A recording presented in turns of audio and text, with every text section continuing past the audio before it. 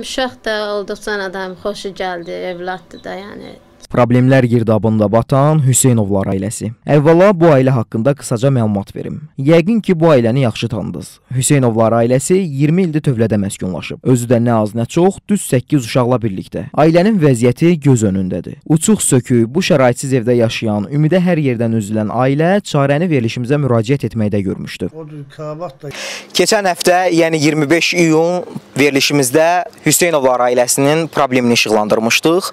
O Hüseynovlar ailəsi ki, onlar e, 20 ildən çox idi tövlədə 8 uşaqla birlikdə acınacaqlı vəziyyətdə yaşayırdılar.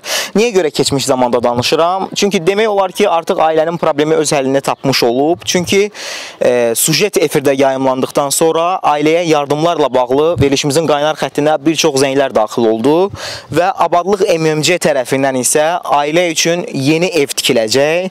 Yeni evin tikintisinə bir neçə gün sonra start veriləcək və biz də bu şad xəbəri, bu xoş, sevincli xəbəri ailəyə təqdim etməyə gəlmişik. Hər döyülən qapı bu ailəyə ümid gətirir. Elə biz də bu xoş xəbəri verən kimi sevinci yerə göyə sığmayan ailə üzvləri öz təşəkkürlərini verilişimizə belə ifadə etdilər.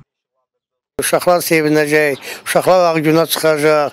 Yəni bunlar da bir normal insan kimi yaşayacaqlar. Allah köməyiniz olsun, canınız sağ olsun.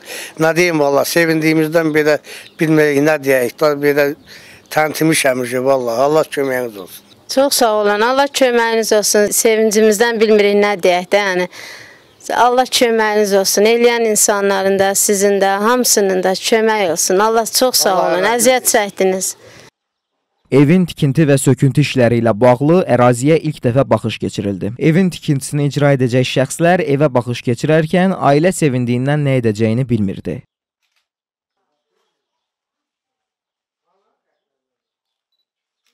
Ərazi üzrə məsul qurum olan Pirşağı qəsəbə icra nümayəndəsi Məhərrəm Mehrəliyev də ailənin vəziyyəti ilə tanış olmaq üçün sözügedən ünvana gəlmişdi. Məhərrəm müəllim deyir ki, burada görüləcək ilk iş ailəni və 8 uşağı müvəqqəti olaraq ərazidən köçürməkdir. Deməli, rayon rəhbərliyinə tapşırıq elə biz burada genel küçəndəydim, oldum.